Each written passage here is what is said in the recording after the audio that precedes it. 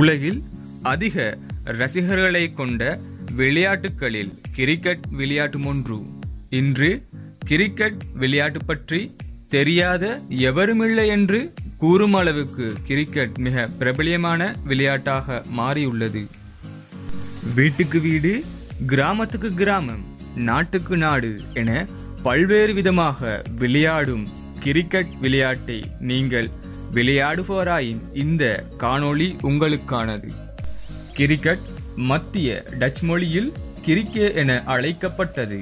அதாவது குச்சி இலை கம்பு என்பதே இதன் பொருள். இதனை அடிப்படையாக கொண்டே கிரிக்கெட் எனும் பெயர் தோன்றியது. இதனை ஜென்டில்மேன் விளையாட்டும் என அழைப்பர். கிரிக்கெட்டின் பிறப்பிடத்தை பார்த்தோமானால் கிரிக்கெட் எங்கு ஆரம்பித்தது? யாரால் தோற்றுவிக்கப்பட்டது என்பதற்கு எந்தவித பலமான ஆதாரம் இல்லை என்றாலும் பதினாறாம் நூற்றாண்டின் பிற்பகுதியிலும் பதினேழாம் நூற்றாண்டின் முற்பகுதியிலும் இந்த விளையாட்டு இங்கிலாந்துக்கு தென்மேற்கு பகுதியில் வாழ்ந்த ஆடு மேய்க்கும் சிறுவர்களால் விளையாடப்பட்டு வந்த ஒரு விளையாட்டாக கூறப்படுகின்றது.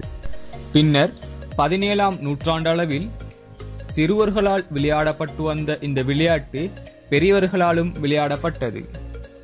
பவுல்ஸ் மிக பழமை வாய்ந்த ஆட்டம் என்பதால் கிரிக்கெட் பவுல்ஸிலிருந்து பிறந்திருக்க கூடும் என்று நம்பப்படுகின்றது. ஆடுமேயும் இடங்களிலும் சமவெளிகளிலும் விளையாடப்பட்டு வந்த இந்த விளையாட்டு ஆரம்பத்தில் செம்மறி ஆட்டிலிருந்து எடுக்கப்பட்ட கம்பளி உருண்டை மற்றும் கற்களை பந்தாக கொண்டும் ஒரு வளைந்த கோளை அல்லது பண்ணையில் இருக்கின்ற ஒரு கருவியை மட்டையாக பயன்படுத்தி விளையாடினர். மற்றும் ஒரு மரத்துண்டு வாய்க்கதவு ஆகியவற்றை விக்கெட்டாக பயன்படுத்தினர். ஆரம்பத்தில் பந்தை இருமுறை அடித்து விளையாடி வந்தனர். ஆயிரத்தி அறுநூத்தி இருபத்தி நான்காம் ஆண்டு ஜெஸ்பர் வினால் என்பவர் துடுப்பாட்ட வீரர் அடித்த பந்தை பிடிப்பதற்கு நின்று கொண்டிருந்தார். ஆனால் எதிர்பாராத விதமாக துடுப்பாட்ட வீரர் பந்தை இருமுறை அடிக்க முற்படும் போது அந்த மட்டை அவர் முன் மண்டையில் பட்டது. அதனால் அவர் உயிரிழக்க நேரிட்டது. இதுவே கிரிக்கெட் வரலாற்றில் முதலில் நடந்த உயிரிழப்பாகும். ஆயிரத்தி எழுநூத்தி ஒன்பதாம் ஆண்டு இங்கிலாந்தில் உள்ள உள்ளூர் அணிகளான கென் மற்றும் சரே அணிகளுக்கு இடையிலான போட்டியே முதல் போட்டியாகும். கிரிக்கெட்டுக்கென தனி விதிமுறை முதலில் லண்டன் கழகத்தினால் ஆயிரத்தி எழுநூத்தி நாற்பத்தி நான்காம் ஆண்டு கொண்டு வரப்பட்டது. இவர்கள்தான் கிரிக்கெட் பிட்ச் இருபத்தி இரண்டு யாட்கள் இருக்க வேண்டும் என்ற அளவீட்டை கொண்டு வந்தனர். ஆயிரத்தி எழுநூத்தி எண்பத்தி ஏழாம் ஆண்டு மெல்பர்ன் கிரிக்கெட் கழகம் ஆரம்பிக்கப்பட்டது. இக்கழகமே கிரிக்கெட் விதிமுறைகளுக்கு பதிப்புரிமையை பெற்றுள்ளது. ஆயிரத்தி எழுநூத்தி எண்பத்தி எட்டாம் ஆண்டு முதல் திருத்தப்பட்ட விதிமுறை அமுலுக்கு வந்தது. முன்னரெல்லாம் பந்து வீச்சாளர்கள் பந்தை உருட்டியே போட்டனர். அதனால் ஹொக்கி வடிவிலான மட்டையை பயன்படுத்தினர்.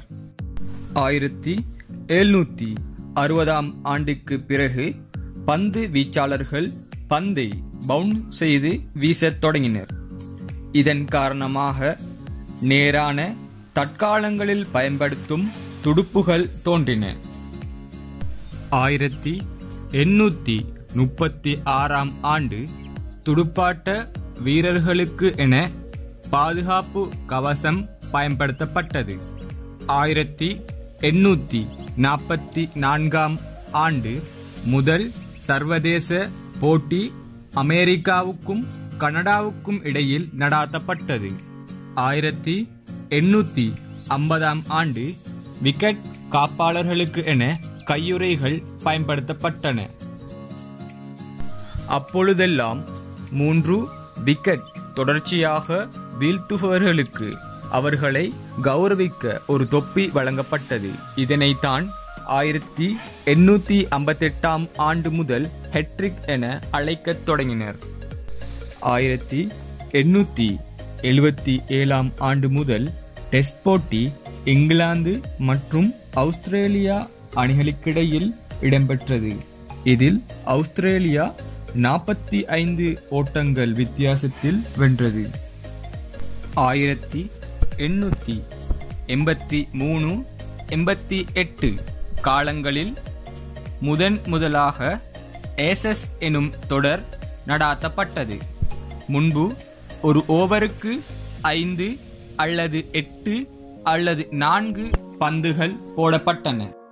அதன் பிறகு ஆயிரத்தி தொள்ளாயிரமாம் ஆண்டுகளில் ஒரு ஓவருக்கு ஆறு பந்து எனும் விதிமுறை கொண்டுவரப்பட்டது சர்வதேச கிரிக்கெட் சபை ஆயிரத்தி தொள்ளாயிரத்தி ஒன்பதாம் ஆண்டு துவங்கப்பட்டது.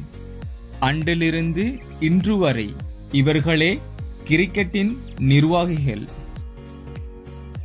கிரிக்கெட்டில் ஆயிரத்தி தொள்ளாயிரத்தி எழுவத்தி ஓராம் ஆண்டு அவுஸ்திரேலியா மற்றும் இங்கிலாந்து அணிகளுக்கிடையே மெல்பர்ன் எனும் இடத்தில் நடாத்தப்பட்ட போட்டியே முதல் ஒருநாள் போட்டியாகும்.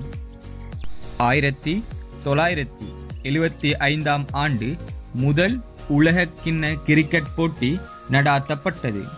இதில் இறுதிப் போட்டியில் மேற்கிந்திய தீவுகள் அணி ஆஸ்திரேலியா அணியை வீழ்த்தி முதல் உலக கிண்ணத்தை வென்றது. ஆயிரத்தி தொள்ளாயிரத்தி எழுபத்தி ஆறாம் ஆண்டு முதன் முதலாக பெண்களுக்கு கிரிக்கெட் போட்டி நடாத்தப்பட்டது. ஆயிரத்தி தொள்ளாயிரத்தி எழுவத்தி ஏழில் வேல் சீரிஸ் எனும் தொடர் ஆஸ்திரேலியாவில் நடாத்தப்பட்டது. இதில் முதன்முறை வெள்ளை நிற பந்துகளையும் வெள்ளை இல்லாமல் நிறங்களிலான உடைகளையும் பயன்படுத்தினர். இரண்டாயிரத்தி ஐந்து பிப்ரவரி பதினேழாம் திகதி முதல் இருபதுக்கு இருபது உலகக்கிண்ண போட்டி நடாத்தப்பட்டது. இதில் இறுதிப் போட்டியில் ஆஸ்திரேலியா அணி நியூசிலாந்து அணியை வீழ்த்தியது. கடந்த இரண்டாயிரத்தி பதினைஞ்சாம் ஆண்டில் முதலாவது பகல் இரவு டெஸ்ட் போட்டி நடாத்தப்பட்டது. இதில் அவுஸ்திரேலியா மற்றும் நியூசிலாந்து அணிகள் மோதிய இந்த ஆட்டத்தில் அவுஸ்திரேலிய அணி வென்றது. இதற்கு இளம் சிவப்பு நிறப்பந்துகள் பயன்படுத்தப்பட்டது.